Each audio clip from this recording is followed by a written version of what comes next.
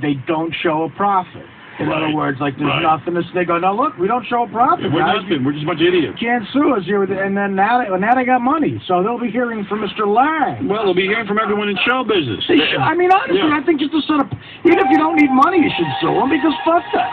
Here's Google co-founder Sergey Brin. Was Oh, wait. thrilled out of his mind. He never he never invented a thing. What did he Sergey? Brin. Stealing Google. people's shit. Sergey Brin, I don't fuck with the Russians. Here's Fine. Google, and he says Google and YouTube is a good fit. It's hard for me to imagine uh, a better fit with another company, both in terms of I love the guy acting like he's not like because in total.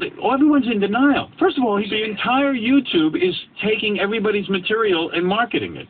Who wouldn't be a, who wouldn't be a good fit with 1.6 billion dollars? We're a Right. great fit with that. Here's YouTube co-founder Chad Hurley, who says uh, this of the union.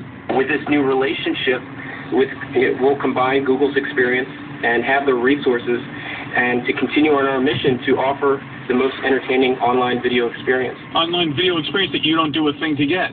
I just, I was just going to say, it's, you're probably right. Probably 85% of it is, you know, repurposing other people's stuff, but they, Yeah. they are starting to do a lot of stuff where people are either making their own videos. Right. Yeah. I, I told you that, the No. guy that was like a whistleblower, he made a video about it, and that's how he got a lot of attention. Uh, whatever, man. Most things I hear about YouTube are like, like the other day, someone said, "Man, they've got the coolest cartoon up there of you guys and, I- uh, with puppets." I go, "Yeah, that's from my show." I said, No, it's funny because we were talking like YouTube had something to do with it." we were talking about this bad video from the 80s, you know, Yeah. with Neil Young and a bunch of people in it, and I, we went on YouTube, and there it was. Right. Yeah, you can Yeah. find anything on there, they say. Here's uh, Sacha Baron Cohen as